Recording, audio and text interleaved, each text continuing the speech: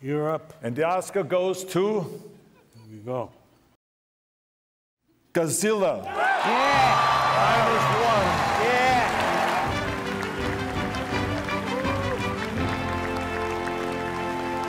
Uh, my career began 40 years ago after the shock of seeing Star Wars and Close Encounters of Kind.